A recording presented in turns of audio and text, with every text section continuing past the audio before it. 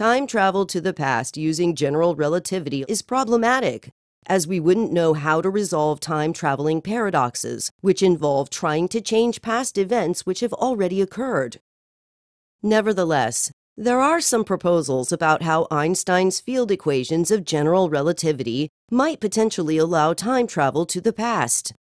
One proposal was made by Kurt Gödel.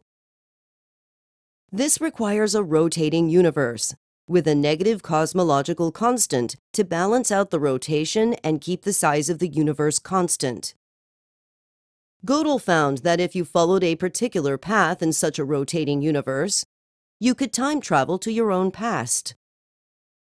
You would have to travel billions of light years to accomplish this, but it could be done in principle. Though this technique can't be done in the universe we actually live in, since we do not live in the type of rotating universe that this proposal requires.